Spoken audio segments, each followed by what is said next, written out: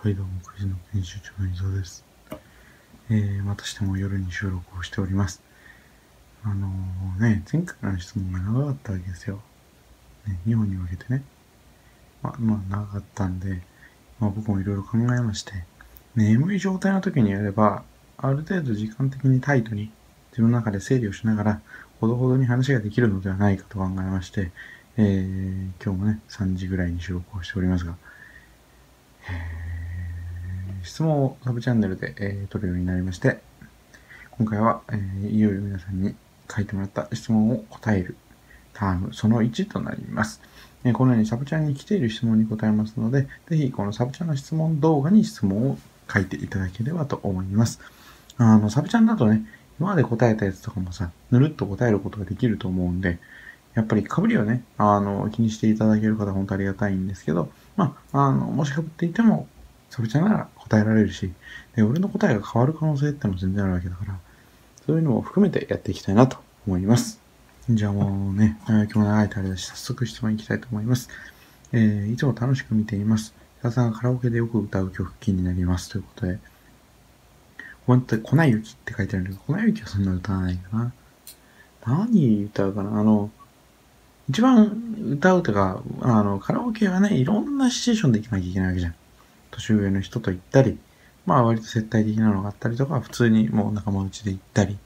あとはまあ数人で行って、あのー、点数取り合ったりとかね。あとはあのー、テレ東のカラオケバトルになんか、あの、東大生で出られる人いませんか？みたいなオファーが東大に来た時に、あの、挑戦してみようかなと思って、点数を取りに行ったことがあって、それは点数を取るために一人で行ったりとかして、まあ、そういうのもあってんで、てか音楽の作やってたからね、練習場としても使ったりしてたんで、まあいろいろあるんですけど、一番さ、その、人と言って無難なのは、あの、あれだね、近畿の曲だね。あの、ガラスの少年とかが一番歌っていて無難だし、ある程度歌いやすい曲なのかなと思っています。なので、ガラスの少年が一番よく歌うかな。あの、バラードとかをね、歌うの好きなんですけど、バラードの場合は、あの、尾崎豊の I love you と、えー、シャ乱Q のシングルベッド、あとはね、あの、最後の雨とかは好きですね。中西康さんね。いろいろと、まあ、好きな曲がいっぱいあるんだけれども、なんで、その場の雰囲気見て歌ったりとか、この人が好きそうだなっていう曲を歌ったりとかします。という感じで、まあいろいろと、あの、まあカラオケが好きですね。という感じでございます。あとなんかあるかな？まだそんな感じか。近畿はね、結構上から下まで幅広い年代に通じるからすごくいいと思うんですよ。個人的にはねっていうお話でした。えー、次行きますか。えっと、本の2冊目はいくつ出版されますかということで、えっと、今年中には出るのは間違いないですね。上半期中には出るんじゃないですかねって感じです。えー、次行きます。ピカチュウを黙らせることには成功したんですか？あれは結局なんか自然に黙っちゃったんじゃないかな。でも、あのね、この動画のコメントにいろんな人から黙らせ方書いてもらって、えー、ありがとうございますって感じです。えー、次行きましょうかね。えーと、今までに何人彼女できたことありますか？ということで、まあまあ、あの、いろいろ過去の動画でもね、ちょいちょい触れてはきたけど、まあゼロではないぐらいの感じでご勘弁ください。えー、伊沢さん、料理しますか？得意料理とかありますか？料理しないんだよね。一人暮らしなんだけどね、その、IH クッキングヒーターをさ、携帯用のちっちゃいやつ持ってて、それがある頃はまだなんかこう、スープ作ったりとか、チャーハン作ったりとか、カレー作ったりとかしたんだけど、まあ、そもそも外食が多かったんだけどね、その頃から。なんか、ゼミで鍋やるって時に、ゼミに持ってったまま、持って帰るの忘れちゃって、めんどくせえな、どうせ外食ばっかりだしなと思ってたら、なんかどっか行っちゃって、今、うちには調理をする日がないんだよね。ということで、えっ、ー、と、料理はほぼしません。好きなというか、まあ、ある程度得意とまでは言わないけど、できたのは、あの、あれだ。チャーハンとカレーはちゃんと作れた。あと、あの、火があった頃はおつまみでアヒージョとかをね、よくあのオリーブオイルをバーって入れてニンニクを吸って、タコとかをね、まあ、あの、ぶつ切りでもうスーパーで半額になってタコとかを買ってきてぶつ切りにして、タコのアヒージョとかを食ってました。で、こう言うとなんか、あの、いけそうだけど、まあ、オリーブオイル入れて火つけるだけだからねっていう話でございます。料理と言えるのは微妙ですね。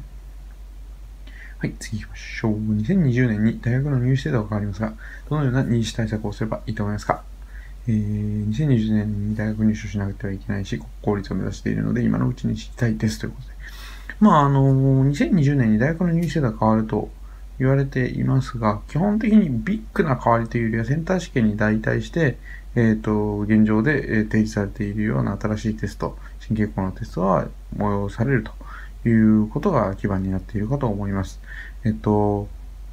そうね、俺も問題見たんだけど、基本的には応用と言われているほど応用ではないのかなというか、応用と言われていても絶対に範囲というものがあるわけで、その範囲の中を使ってやっていくということが大事になってくるわけです。初めて見た問題に見えても、実はそれは絶対に初めて見た問題じゃないんだよっていうことを意識しておけば、既存の自分の持ってる手札で解けるようになると思います。なので、大事なことは、まずは手札のカードをしっかりと固めて、まず手札を増やすこと、そして手札のカードの攻撃力をちゃんと上げていくこと。この二つが大事になってくると思うので、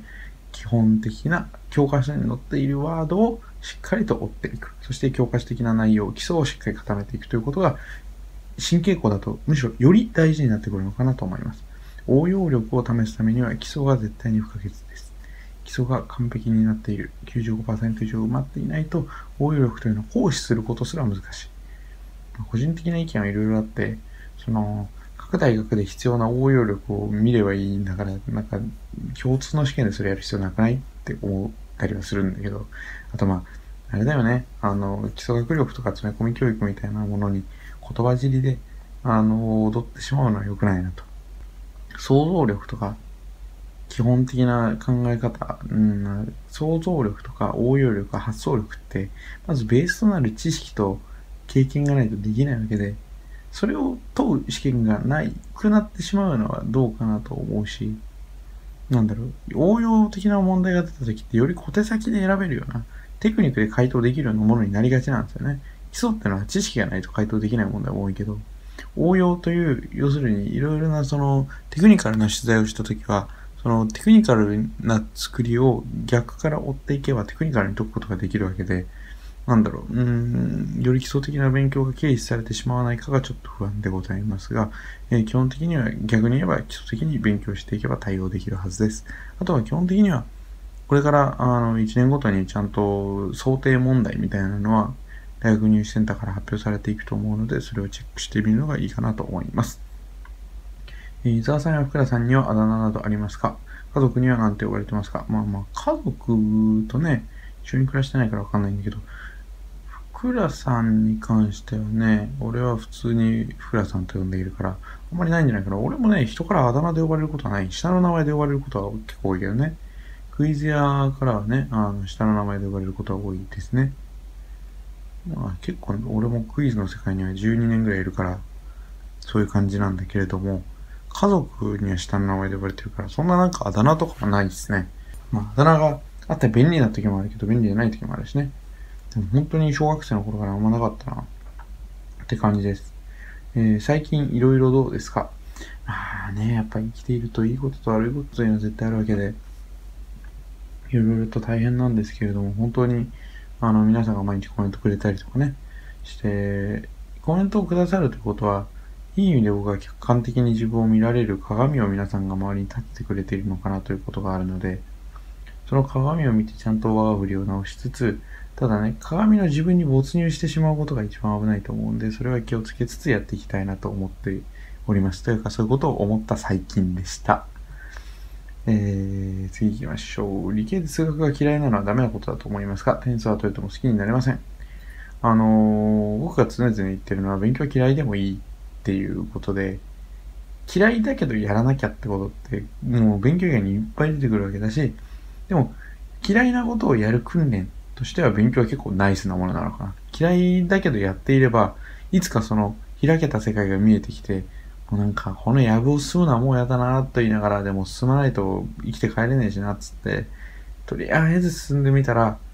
開けたところに出るみたいな感覚って絶対あって、で、開けたところで生きていくためには、藪の中を歩いた危機が絶対に必要になってくると僕は思っています。なので、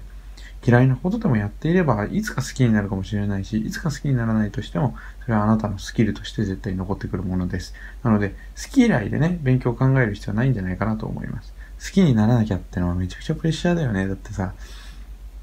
あの、恋愛の後期に、その、なんか好きじゃなくなっちゃった相手を好きにならなきゃって思っている時のさ、恋愛描写とかが一番なんかこう、えぐい感じになるわけじゃん。そして結局は破綻を迎えるのだよ。嫌いでも、ね、何かこう、こなしていくということは大事になってくるわけですね。変な誘いを入れたせいでよくわかんないことになった。はい、えっ、ー、と、3つ質問します。えー、3つか。まあまあでも、あ、基礎的なやつだからいいや。えー、好きな食べ物は何ですか？えー、担々麺とカレーです。えー、兄弟いますか？いません。自分はどんな性格だと思いますか？うん、わかんない。あの、性格ってわかんないよね、自分のね。だって、もうさ、あの、ペルソナがいっぱいあるわけよ。YouTube に出ているペルソナ、東大王に出ているペルソナ、一人でいる時のペルソナ、動画を撮ってている時、動画を撮り終わった時、クイズノックの編集長としてのもの、クイズプレイヤーとしてのもの、もろもろあるわけで、で、全部違うんだよね。それは、なんだろう、自分というものがあるんじゃなくて、自分と他人との関係性の中に自分の存在だったりとか、自分がどう認識されてるかっていうのがあるわけで、逆に言えば、他人から認識される自分と自分から認識される自分ってのは、なんだろう、全部同じ平、同じ線の上にあって、その、それ一個一個が自分の性格だと思うんですよね。だから自分の中にあるものというよりは他人と自分の中にあるものなので、自我的なものが。だからどんな性格っていうのは自分で判断するのは結構難しいですね。でも僕は基本的にはこもりがちだし、自信過剰になることもあれば、結構、なんだろう、いろいろ気にする部分もあるんで、自分がどういう性格なのかっていうのは自分でも言い表せないかな。うん。難しいですね。まあでも、なんだろう。うん、やっぱ23年間自分というものと付き合ってきて、必ずしも褒められたものではないなと思っております。えー、次に行こうかな。えー、おすすめのストレス発散法はありますか？うーん、そうですね。僕はね、あの、サッカーを見るのがすごい好きなんで、サッカー見てね、自分の応援してるチームのために一喜一憂するのはすごい気持ちがいいですね。やっぱ勝った試合の後は眠れないし、負けた試合の後も眠れないからね。あとは僕は風呂で歌歌っていることがすごい多いです。もう単純にあの、狭いんでね、一人暮らしの風呂はね。音響がいいんですよ。響くから。やっぱり、あの、結構、ギターを弾いていた頃に歌も練習をしていたのもあるんで、今もやっぱギターを弾いてる余裕があまりないんだけど、歌の練習は継続しなきゃなという気持ちもあったりするので、えっと、歌って今ストレスを発散してます。受験生の頃はね、あの、音楽を機会に聴いてってのと、あとは塾の周りを軽く散歩するみたいな。あとはやっぱ受験生の頃は食うことが楽しみだったね。食べること以外にはなんかこう、なんだろう、あの、自己実現的なものって勉強以外になかったから、食べることでその逆を張っていたというか、そういう感じでしたね。もう美味しいものを食べた、いっぱい、受験生の頃は。そういう発散をしていました。って感じです。えー、大学院卒業したら何になりたいですか？結婚願望はありますか？大学院卒業したら何大学院の卒業って難しくって、修士で卒業するのか、博士まで行くのか、博士になって研究員やって結局辞めるのかみたいな、いろいろな出方があるから、どうしたもんかねと思うんですけど、僕はしばらく学問の道には行きたいかなと思います。で、一方でやっぱクイズノックというものがこれだけ皆さんのおかげで大きくなってきたので、え、クイズノックを大きくしていきたいなとこのままじゃ引き下がらないぞって気分にはいっぱいありますね。やっぱり、あの、より良いものを届けていける立場に上げてもらったなら、その、使命を全うするのもあるかなと思います。えー、結婚願望は今のとこないかななんか、うん、向いてないと思った。人と暮らしていくとか。向いてねえと思うんだよな。やっぱりね、一人でいるのが好きなんですよね。だから家に帰りたいしね。家に帰って、もうだから自由にサッカー見る時間とかさ、あの仕事をするときはもう何にも、まだとりあえず仕事をしたいとかがしたいわけで、あの、子供とかは好きなんだけれども、ちょっと結婚的分には今ならないっすね。でも、こんなこと言っといてもさ、またどうせ変わるんだぜ、後で。って感じですね。えー、結婚相手に学歴を求めますか学歴じゃないんだよね。学歴は全然大事じゃない。学歴って能力の指標にはならないんだよね。学歴を、例えば大学に入ったか入ってないかみたいなことだとしても、それは18歳の時点でのあなたが何を持っていたかということの証明に過ぎないんですよ。大学に入ったかどうかってのは。その大学で何をして結果的に自分の中に何が残ったかが全てですから。なので、求めないと。ただ、しっかりとした学問的な考え方を持っていることは、僕はある程度コミュニケーションに必要なことだとは思っております。いきます。次。えー、仲の良い友達に仲がいいからと思いっきり悪口を言われます。それをたくさん人がいる場所でしつこく何度も言ってくるので、ストレス以外の何者でもありません。こんな時どうしますかと。結構いろんな人からね、これのコメントについては返信もついているんですが、うん、でも俺はね、逆に小学生の頃とかこういうのやっちゃうタイプだったかな。結構今思うと後ろぐらいことはいっぱいあるんだけれども、結構ね、あの、面白いと思って言っちゃって、実は本人を傷つけちゃっててごめんねってことは結構あって。でも、俺がそうやって、そういう時にごめんねって言えたのは、その人から嫌だって言ってもらえたから。仲のいい友達だったら、嫌だよってちゃんと伝えれば、仲の良さを信じるならね。ごめんねってなって、で、そのごめんねの一週間後ぐらいからまた元に戻れると思うんです。なので、そのストレスを感じてるんだってことをちゃんと真剣に打ち明けることを、その仲の良さを使ってやればいいんじゃないかなと思います。僕は小学生の頃それを言ってもらえてとっても良かったし、それを言ってもらえなかったらもっと今嫌な気分になっているとか、後ろ暗い気分になっているのかなと思います。ので、あのー、僕の反省を生かして、ぜひ、言ってあげてください。きます。えー、高2で行きたい大学について調べると不安ばっかり増えてしまって眠れない日々が続きます。受験勉強のプレッシャーに押しつぶされそうです。高2だと来年やべえぞもっと。っていうことで、不安、調べて不安になるんだったら調べないのもありですよね。眠ることは一番大事、何よりも優先されるべきことだと僕は思っています。体の調子を全て握っているから。で、あの、不安に思うことがたくさんあるというのは非常にわかる一方で、不安な状態でいることはもう、なんだろう、努力をすることでだんだんと不安が取り去られていくことってのがあって、もう不安だと思っても、とりあえず突っ込んでみると、意外と突っ込んでしている作業に没頭しているうちに、パッと道が開けることはあると思うんで、不安、調べて不安になるんだったら、とりあえず何か手をつけてみるとか、手応えをつかめるまで突き進んでみるってことも大事です。あの、僕は常々、あの、効率のいい勉強法だったりとか、あの、こういう勉強法はちょっと危ないんじゃないみたいな話はしているんだけれども、それは全てではないよね。時には突き進むことも絶対に必要になってくるし、それはなんだろう、自分でこれが正しいと信じて、まあ、最初は疑い続けることは大事なんだけど、ある程度疑った後に、これはいけるぞって思ったら、その自分を信じてしばらく突き進んでみるっていうのは絶対に大事なことだと思うんで、もしプレッシャーを感じて身動きが取れないようになったら、そのプレッシャーを外すためにとりあえず進んでみてください。無駄にはならないよ。きます。えっ、ー、と、結局将来何になりたいんですか？もうだから、これはずっと言ってるんだけど、わかんないんだよね。あのー、これ前も言ったかな。あのね、将来の夢って単語をもうやめた方がいいよ。廃止した方がいいよ。将来の夢って何やねんって話ですからね。将来、どんな職業に就きたいなと、今の段階で、えー、お考えですかぐらいの感じにしてくれよっていうね。将来何かにならなきゃいけないっていうさ、意識がね、この将来の夢を聞かれ続けることで、なんとなく固定された概念として植え付けられちゃっているんだよね。15、18、22、もしくはその後でっていう、その、何かの職業に就くって、まあ、勤労は義務なんだけどね。でもさ、今こうやって職種が増えてきたわけだから、いろんな勤労の形態だったりとか、勉強しながら勤労したりみたいなことが非常にこう多様にできる世の中になってきた中で、もう将来の夢という概念は古いのかもしれないぜ、と思ったりするわけです。まあ何が言いたいかというと、ちょっとよくわかんないってことですね。はい。えー、座右の銘はありますか？これは僕常々言ってる座右の銘なんですけど、えー、桂文枝さんかな元は言っていたのは、僕ちょっと出典を探すことに失敗しているので、あの、わからない部分はあるんですけど、無知であることは恥ずかしくありません。無知に甘えることこそが恥ずかしいのです。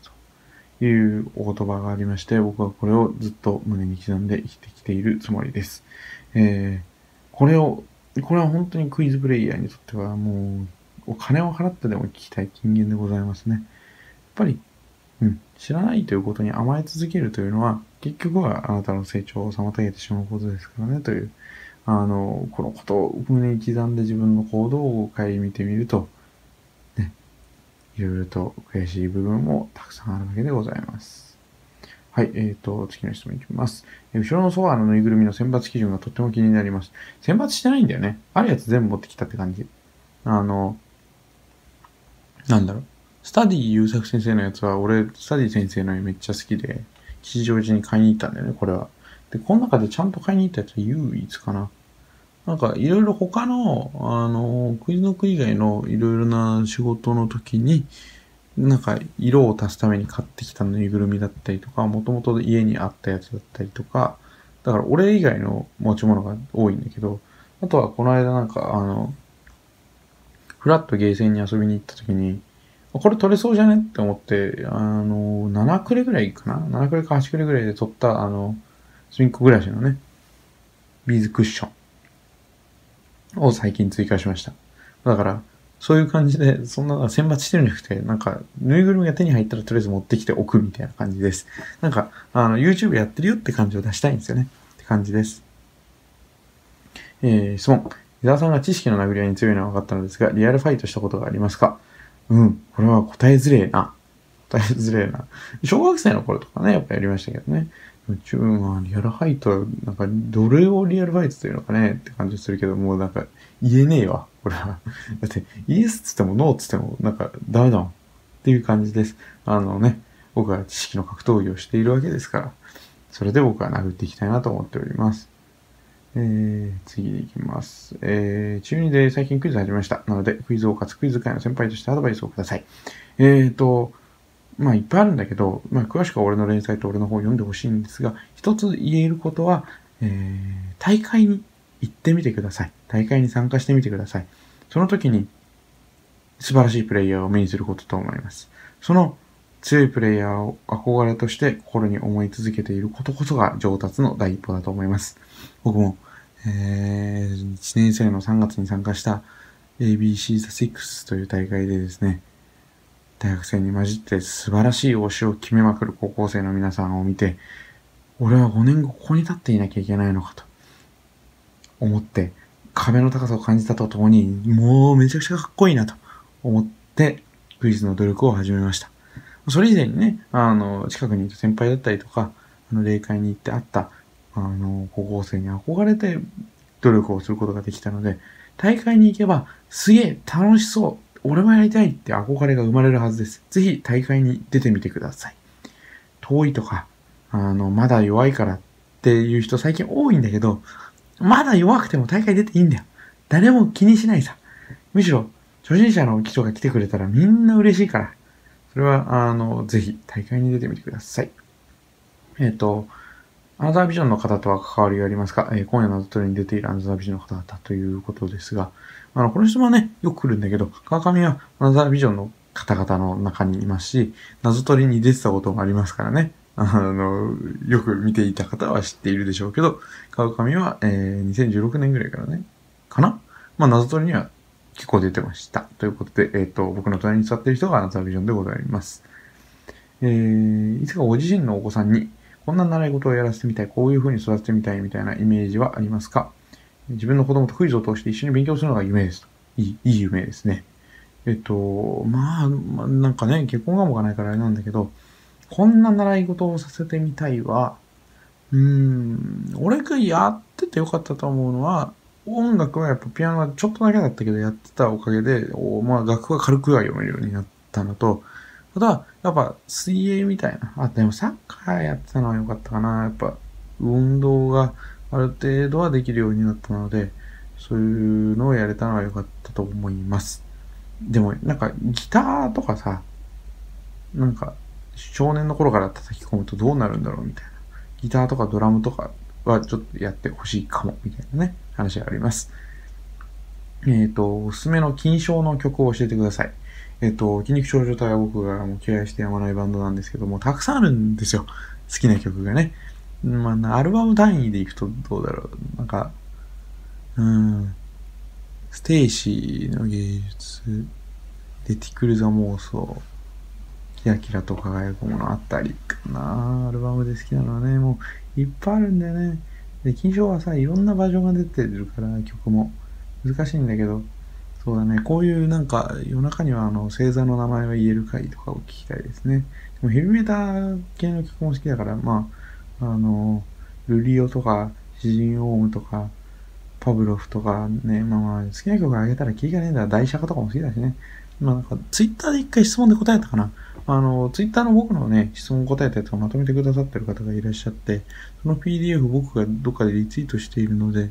ぜひ、あの、それを見ていただければと思います。そこに僕の金賞のおすすめ曲書いてあります。えー、次いきます。えっ、と、異性に作ってもらえたら嬉しいなと思う料理とお菓子、えー、自身が好きな手作りの食べ物。手作りをね、俺しないからあれなんだけど、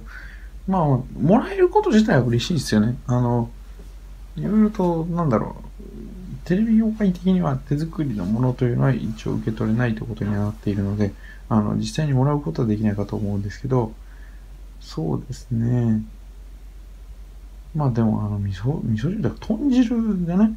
豚汁ってやっぱ個性が出るしね。あと、あの、手作りの豚汁は美味しいよね。しっかりとなんだろう。あの、沈殿している感じの豚汁が好きですね。えっと、次行きましょう。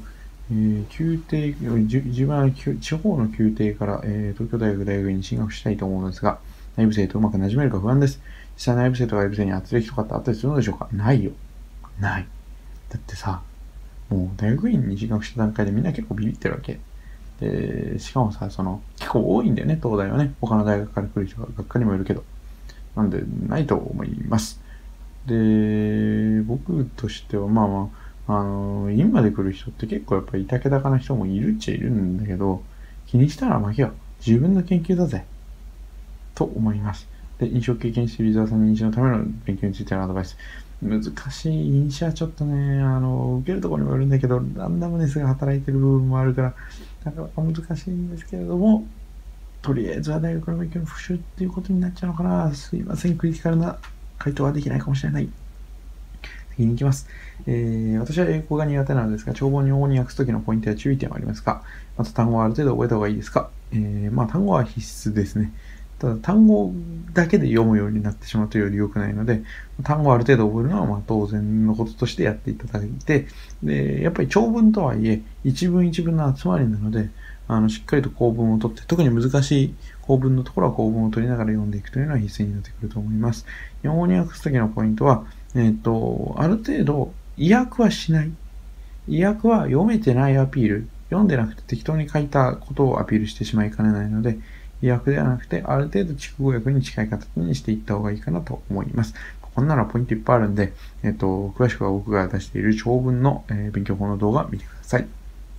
えー、伊沢さんの一番好きなアーティストは、えー、何ですか、えー、リトグリが好きなんですけど、知ってますか？まあ、知ってはいます。ソニー損保の CM とかね、よく、ソニー損保の CM ってあの、あれなんだよ、野球中継によく入るんだ。だから俺、野球中継を BS で見てることが多いから、結構知ってはいます。一番好きなアーティストは決められないですね。好きな人いっぱいいるんで、まあなんか、ツイッターで僕結構曲をつぶやいたりとかするんで、それ見てください。えー、伊沢さんは関係ない英検、数検、何級持たれてますか？英検、数検は何級も持ってません。一回も受けたことないです。関係はね、5級かな今ね。5級です。えっ、ー、と、そう。これはでもね、よく来る質問なんだよね。っていう感じです。えー、今、高1です。もしも予備校塾に通うとしたら、今すぐ入れってなるのか、高2の夏からでもいいですよってなるのか、どっちでしょうか。うーん、それはもう場合によるな。